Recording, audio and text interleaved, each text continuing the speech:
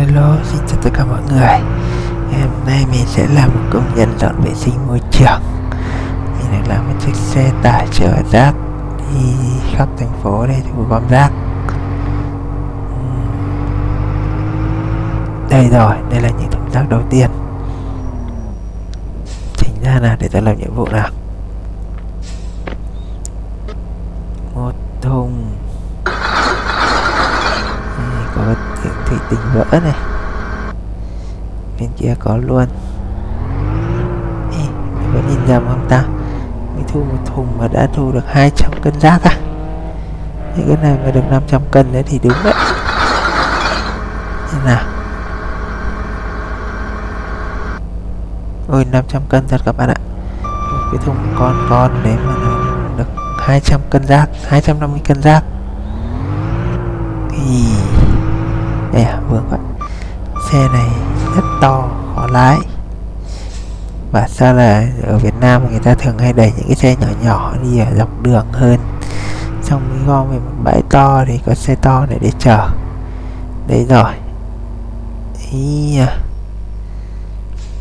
hay là không có gấp được nha các bạn. Cố gấp chắc đổ hết nguyên cái rác ra thành phố đi. Mất công đi dạo lắm.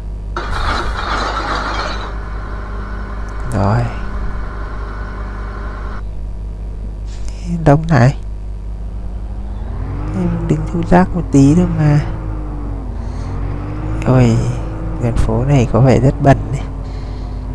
Ba thùng rác bốn thùng rác. Từ đầu đường đến giữa đường bốn thùng rác liền.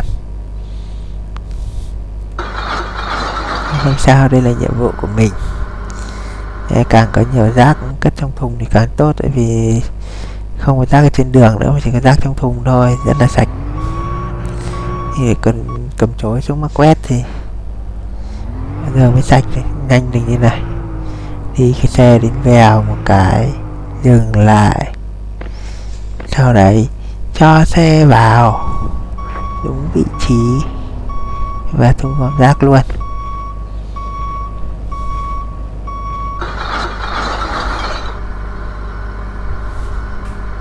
Thành phố này rất là nhiều rác, rất là chứng tỏ rất nhiều dân cư ấy mới thu sơ sơ ba ba bốn cái dọc cái đường này đã gần 2 tấn rác rồi. Thu xong cái này phải gần 2 tấn.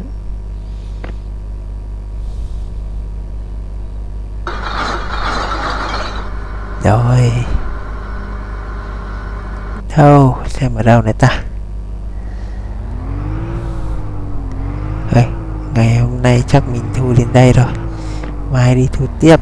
Tôi nhiều mệt lắm.